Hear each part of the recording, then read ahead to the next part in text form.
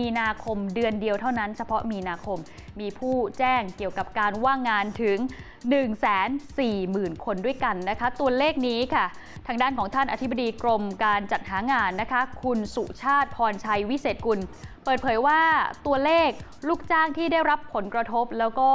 ส่งเงินสมทบประกันสังคมมาแล้วไม่น้อยกว่า 6 เดือน เพื่อลงทะเบียนใช้สิทธิกรณีว่างงานออนไลน์นะคะ ผ่านทางด้านของเอ่อ empui.doe.go.th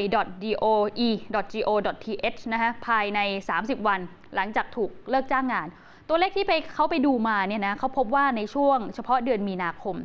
มีผู้มาลงทะเบียนใช้สิทธิ์กรณีว่างงานแล้ว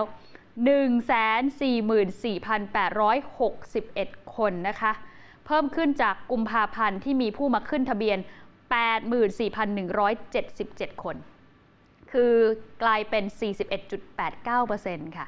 มกราคมเนี่ยอยู่ที่ 74,775 คนนะคะ คิดเป็นตัวเลขมีมีนาคมที่เพิ่มขึ้นมาคือ 48.38%ตัวเลขคือโดดขึ้นมาค่อนข้างที่จะชัดเจน เรื่องนี้ค่ะท่านหม่อมราชวงศ์จตุมงคลโสนกุลรัฐมนตรีว่าการกระทรวงแรงงาน ท่านก็บอกว่าขอให้ประชาชนที่ว่างงานจากการถูกเลิกจ้าง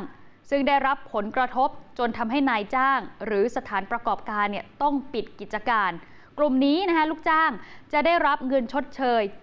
70%ของค่าจ้างที่เคยได้รับ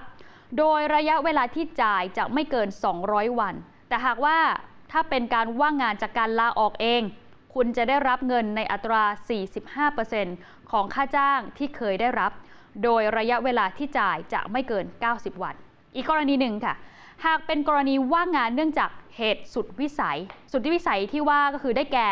กรณีนายจ้างเนี่ยไม่ให้คุณทำงาน เพราะว่าต้องกักตัว 14 วัน เนื่องจากไปสัมผัสหรือใกล้ชิดนะฮะกับผู้ที่ติดเชื้อ และกรณีหน่วยงานภาครัฐ สั่งให้ปิดสถานประกอบการชั่วคราว ถ้าเป็นแบบนี้จะต้องลงทะเบียนขอรับประโยชน์ทดแทนกับสำนักงานประกันสังคมค่ะ ขอบคุณที่รับชม TNN ช่อง 16 นะคะ และถ้าไม่อยากพลาดการติดตาม อย่าลืมกด subscribe และกดกระดิ่งนะคะ เรายังมีวิดีโอที่น่าสนใจอีกเพียบเลยค่ะ